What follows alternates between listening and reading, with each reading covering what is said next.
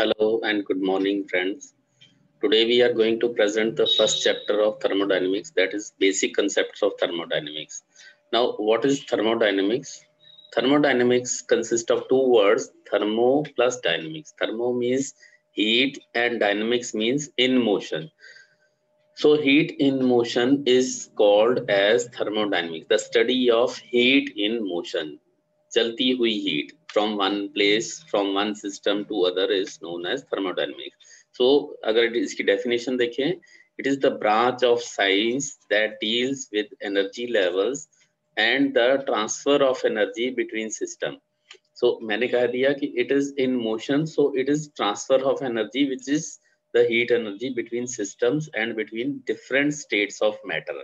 तो मैटर कई अलग अलग जो मासेस हैं, उनके बीच में ये ट्रांसफ़र होती है। तो उसकी जो स्टडी होती है that is known as thermodynamics now what is a system अब हम सिस्टम की बात करें तो the part of the universe that is under consideration universe means whole matter जो हमारे चारों तरफ़ दिखता है, उसमें से हम कुछ पोर्शन को अगर कंसिडरेशन के अंदर लेते हैं then it is known as system it is separated from the rest of universe by its boundary तो अगर हमारे ये इस कंप्यूटर की हम बात कर रहे हैं, या हमारे अगर एजुकेशन सिस्टम की बात करें तो उसमें काफ़ी सारे हैं। लेकिन हम, अगर हम थर्मोडाइनमिक्स पढ़ रहे हैं तो एक थर्मोडाइनमिक्स एक सिस्टम है।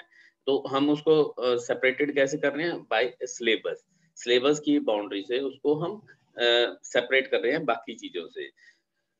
तो सिस्टम क्या है? It is the part and it is separated by boundary तो इसको हम अलग अलग से कह सकते हैं open system close system isolated ये हम आगे भी पढ़ेंगे।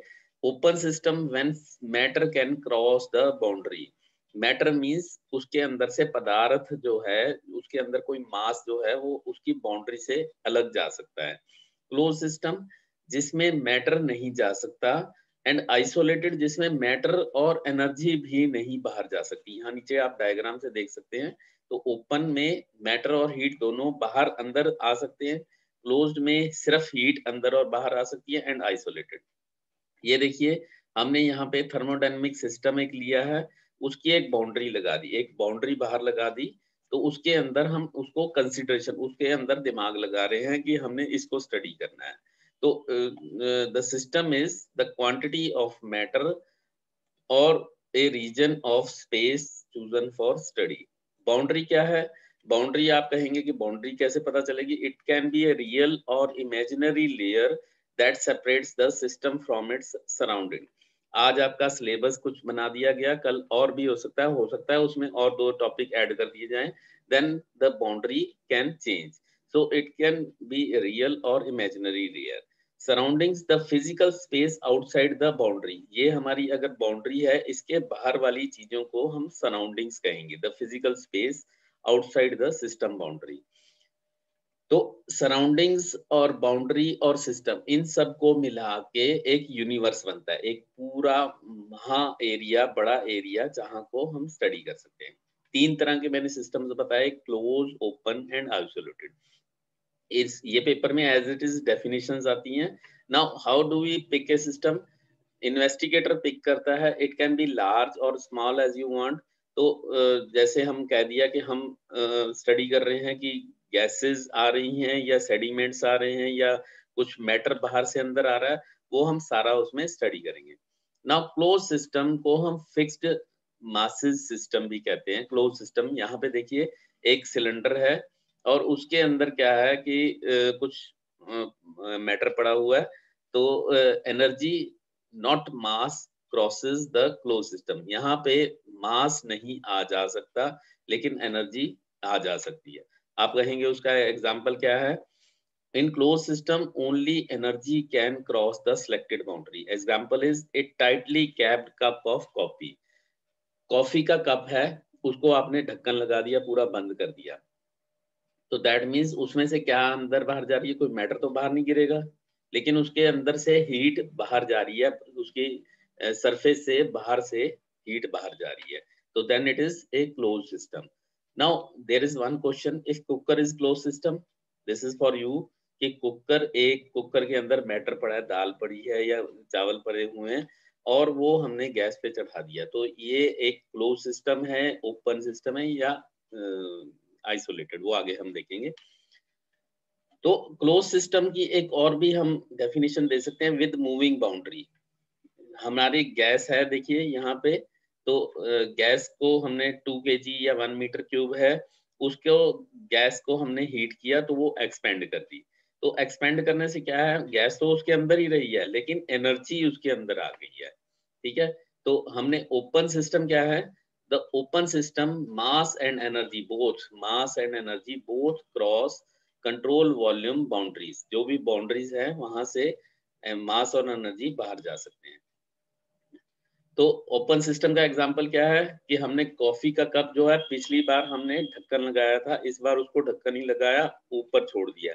तो ऊपर छोड़ने से क्या होगा कि उसकी थोड़ी सी स्टीम बाहर निकलती रहेगी। दैट मीन्स थोड़ी देर बाद जब वो ठंडी होगी तो बेशक बहुत कम हो, लेकिन वो कप ऑफ़ कॉफ़ी थोड़ा सा उसमें एनर्जी और मास दोनों एनर्जी तो साइड से निकल रही है उसकी हीट एनर्जी लेकिन उसका मास भी जो भाप निकल रही है वो बाहर निकल जाएगी। Then there is isolated system it is close system ये क्लोज सिस्टम है, लेकिन इसमें हीट या एनर्जी भी सिस्टम बाउंड्री से बाहर नहीं जा सकती। It is typically a collection of main system and its surrounded which is consider an isolated system ये देखिए, एक आइसोलेटेड सिस्टम की हमें बाउंड्री बड़ी करनी पड़ती है अदरवाइज़ आइसोलेटेड सिस्टम हो ही नहीं सकता। अब देखिए, यहाँ पे एक सिस्टम है उसकी वर्क जो है वहाँ से आ रहा है हीट कहीं और जा रही है मास कहीं और जा रहा है तो हमें आइसोलेटेड सिस्टम की बाउंड्री बड़ी करनी पड़ती है। तो आप डेफिनेशन सिर्फ़ याद रखिए कि यहाँ हीट और एनर्जी दोनों के दोनों बाहर नहीं जा सकते। अब आप कहेंगे, उसका एग्ज़ाम्पल क्या है? The example is coffee in a close well insulated thermos bottle thermal thermos bottle है, लेकिन ये दिस इज़ ऑल्सो अप्रोक्सीमेट आप कहेंगे, दस दिन के लिए अगर थर्मोस को रख देंगे तो भी उसके कुछ ना कुछ तो ठंडी हो जाएगी, लेकिन लगभग एक या दो दिन के लिए उसके अंदर कॉफ़ी गर्म रहेगी. Now there is one question is piston and cylinder an isolated system अगर पिस्टन और सिलेंडर है तो वो आइसोलेटेड सिस्टम है या नहीं है? इसके आप दिमाग में लगाइए, क्योंकि ये क्वेश्चन आता है। नाउ अब सिस्टम हमने डिफाइन कर लिया सिस्टम की स्टेट क्या है? हमने कह दिया, भाई, आज एक क्वेश्चन डालते हैं कि, भाई, आप रामू कैसा है? Then you will say Ramu तो आज थका हुआ है। कैसे पता चला? रामू इज़ स्लीपिंग या उसका टेम्परेचर ज़्यादा है, या उसका टेम्परेचर कम है। So state is refers to the energy content of a given system. The state defined by specifying certain variables such as temperature, pressure, volume. PVT. आप वैसे रट्टा मार लीजिए कि PVT, प्रेशर वॉल्यूम टेम्परेचर और उसकी कंपोजिशन केमिकल कंपोजिशन भी उसकी स्टेट को बताती है कंपोजिशन जैसे वो सॉलिड uh, है या गैस है या लिक्विड है and what are the state variables state variable ये डेफिनेशन आपने याद रखनी है state variable specifically refers to the change inherent if a reaction proceed because of a change in state. uh, क्या चीज़ चेंज हुई है? वो चेंज जैसे प्रेशर चेंज हुआ है या वॉल्यूम चेंज हुआ है या टेम्परेचर चेंज हुआ है। तो जिसकी वजह से रिएक्शन हुआ है या रिएक्शन की वजह से वो चेंज हुए हैं। They are known as state variable. They refer to the change internally क्या चीज़ चेंज हुई है? कोई रिएक्शन की वजह से। नाउ ये स्टेट वेरिएबल्स ही दो तरह के हो सकते हैं extensive and intrinsic variables which are proportional to the quantity of matter or mass, such as volume. Volume जैसे है, अगर हम किसी का मास कम कर देंगे तो ऑटोमेटिकली उसका वॉल्यूम भी कम हो जाएगा। ठीक है? तो इसको हम एक्सपेंसिव कहेंगे। इंट्रेंसिक कि वो they are independent of quantity और मास उसका मास हम कम भी कर दें तब भी उसकी जो है, वो क्वालिटी नहीं चेंज होगी। उसकी वो वेरिएबल या उसका वो करेक्टरिस्टिक्स चेंज नहीं होगा। Such as density temperature and concentration तो अगर हम कहें कि एक लिक्विड है तो लिक्विड में से कुछ मास निकाल दें तो भी उसका टेम्परेचर कम हो जाएगा? नहीं। उसका टेम्परेचर वैसा की वैसे ही रहेगा। उसकी डेंसिटी वैसे ही रहेगी कॉन्सेंट्रेशन उसकी वैसे ही रहेगी। तो intensive are independent of the amount of mass इसकी एग्जांपल है temperature pressure and density question आ सकता है एक एक नंबर में टेम्परेचर प्रेशर एंड डेंसिटी कि टेम्परेचर इंटेंसिव है या एक्सटेंसिव है? ठीक है? इसी तरह से एक्सटेंसिव में आपका आ सकता है mass volume energy and enthalpy तो T P and rho T temperature pressure and density are intensity और mass and volume are extensive properties now ये प्रॉपर्टीज़ ली कब जाती हैं when the system is in equilibrium. Equilibrium means कि लगभग वो अपनी सराउंडिंग से एक लेवल पे आ गया है। कोई उसमें ट्रांसफ़र नहीं हो रही एनर्जी की या उसमें से मास की ट्रांसफ़र नहीं हो रही है। ठीक है? सपोज़ एक टेम्परेचर पे है सौ टेम्परेचर पे है और उसके सराउंडिंग में ज़ीरो टेम्परेचर है। आप उसको अगर तो उसका थर्मामीटर से लगाओगे तो हम उसको उसकी प्रॉपर्टी नहीं मान सकते हैं। तो दैट मीन्स कि वो लगभग स्टेबल हो गया है। एक टैंक में पानी भर रहा है। आप कहेंगे टैंक का लेवल कितना है? ठीक है? पानी भर रहा है तो क्या उस वक्त लेवल उसका देख सकते हैं? नहीं। जब वो टैंक में पानी भरना बंद हो जाएगा, एक इक्विलिब्रियम में आ जाएगा, तभी उसका लेवल हम उसकी प्रॉपर्टी चेक करेंगे। So state a set of properties that describe the condition of system मैंने अभी बता दिया जो कि उस सिस्टम की कंडीशन बताता है दैट इज़ स्टेट जैसे कि मैंने बताया, रामू थका हुआ है। कैसे पता चलेगा? कुछ प्रॉपर्टीज़ की होंगी। हमारे पास mass temperature volume thermodynamic equilibrium ये भी डेफिनेशन अलग से आती है। Thermodynamic equilibrium the system that maintains thermal mechanical phase and chemical equilibrium एक फ़ेज़ दूसरे के साथ इक्विलिब्रियम में कब होगा? जब उसकी थर्मल प्रॉपर्टीज़ सेम होंगी दोनों की। आपस में कोई थर्मल प्रॉपर्टीज़ एक का टेम्परेचर 20 है तो दूसरे का भी 20 होगा। ठीक है? मैकेनिकल एक का फोर्स दूसरे के साथ फोर्स में कुछ चेंज नहीं हो रहा होगा। और उसकी केमिकल भी इक्विलिब्रियम होगी। ये सारी कंडीशंस मिलाएँगे तो वो थर्मोडाइनमिक इक्विलिब्रियम कहलाएगा। Thermal mechanical phase and chemical equilibrium now there are types of uh, thermodynamics process. They are very important. आज आपको याद करने हैं। आगे तक यही बार बार रिपीट होते रहेंगे। आपको याद करने हैं। साइक्लिक प्रोसेस ये देखिए एक प्रोसेस है। वन से चलता है। यहाँ से घूमता हुआ वापस उसी वन पे पहुँच जाता है। वन से चलता है। टू से होता हुआ वहाँ वन पे पहुँच जाता है।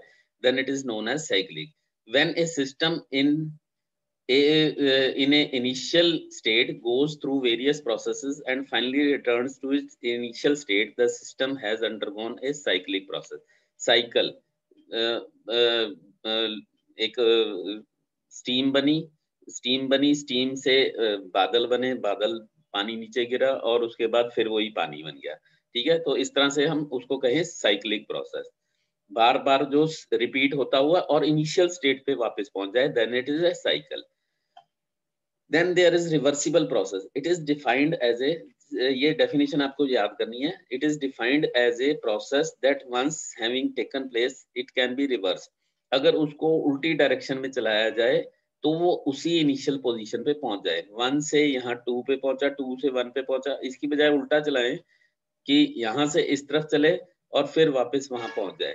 ऊपर से नीचे चले. तो जैसे हम इस तरफ़ आ रहे हैं, दूसरी रिवर्स डायरेक्शन में चलाएँ तो भी वो वैसे ही उसी जगह पे पहुँच जाए। In doing so it leaves no change in system और बाउंड्री सिस्टम में कोई चेंज ना हो देन इट इज़ रिवर्सिबल नाम से भी पता चल रहा है रिवर्स हो जाए जो। इरिवर्सिबल नॉर्मली ऑल यूनिवर्स में सारे के सारे रिवर्सिबल है, लेकिन हम थ्योरेटिकल पढ़ने के लिए रिवर्सिबल प्रोसेस कंसिडर करते हैं। A process that can not return both the systems and surrounding to their original conditions are known as irreversible process कुछ और थर्मोडाइनमिक्स uh, प्रोसेसेस हैं। मैं थोड़ी तेज़ी से करवा देता हूँ आपको। तो ये आपको डिटेल्स में भी आगे पढ़ने पड़ेंगे। Adiabatic process very important ideal है। आइडियल मीन्स कि एक्चुअल में प्रैक्टिकली ये कहीं एग्जिस्ट नहीं करता। बट क्योंकि हमने कुछ कैलकुलेशंस करनी होती हैं तो हम कुछ प्रोसेसेस को एडियाबैटिक मानते हैं। Adiabatic, a process that has no heat transfer into or out of the system. System के अंदर सिस्टम के बाहर कोई हीट नहीं जाएगी। देन इट इज़ कैसे हीट नहीं जाएगी? मैंने थर्मल थर्मस का भी बताया था आपको तो थर्मस में हीट नहीं जाती, उसको परफेक्टली इंसुलेटेड होगा तो ना उसके अंदर हीट जाएगी, ना बाहर आएगी। Isentropic a process where the entropy of the fluid remains constant isentropic isen means रुका हुआ entropy entropy हम बाद में इस कंसेप्ट को पढ़ेंगे what is entropy polytropic जिसमें कई सारी entropy होंगी a uh, gas undergoes a reversible process in which there is heat transfer it is represented with a straight line pv की n pv raised to power n is equal to constant then there is throttling process ये लगभग चारों के चारों एक जैसे process हैं थोड़ा सा उनमें फ़र्क है। Throttling is a process in which there is no change in enthalpy, no work is done, and the process is adiabatic. Throttling means एक गैस पास कर रही है तो उसको थोड़ा थ्रोटल करके एक छोटे होल से पास करवाया गया। तो दैट मीन्स कुछ काम नहीं किया गया नो वर्क इज़ डन कोई उसकी हीट नहीं चेंज हुई but there is no change in heat the process is adiabatic उसको थ्रोटल थ्रोटल मीन्स एक छोटे होल से उसको पास करने दिया गया ज़बरदस्ती। देन ये हम बात करते हैं, कुछ और भी है हमारे सिस्टम लेकिन अभी के लिए इतना ही करते हैं। Thanks for all thank you very much.